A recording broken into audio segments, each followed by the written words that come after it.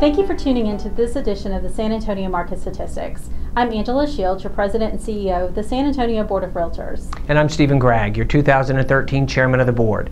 All year, the San Antonio market has shown incredible growth, and August was no different. That's right.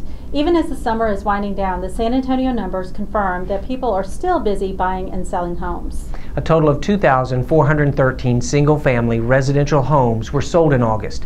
This is a 15% increase compared to 2012.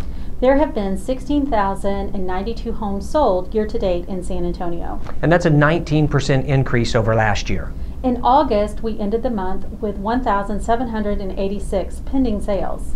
We also saw our lowest months of inventory all year with 4.8 months. We also had our lowest days on the market for the year with 69 for August.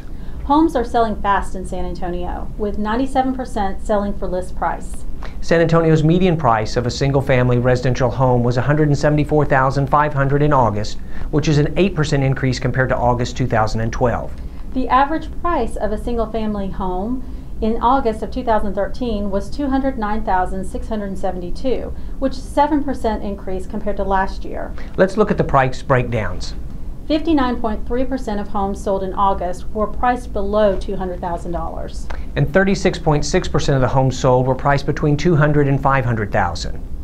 And 3.9% of homes were sold that were sold were priced above $500,000. We've seen a lot of growth in our luxury home market this year. In fact, according to NAR, across the country, sales of homes priced above 1 million are up 25% from a year ago. You know, earlier this year, San Antonio was ranked third on CNN's list of the most business friendly cities and number 11 on Forbes' list for job growth in the country. That's right, Angela. According to Dr. Dotzour at the Texas A&M Real Estate Center, the lower cost of living in Texas means people have a higher quality of life on a lower wage scale. In fact, Texas cost of living is 3% below the national average.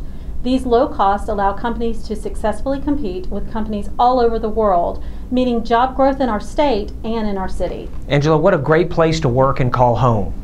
We thank you for tuning in to this edition of San Antonio's Market Statistics.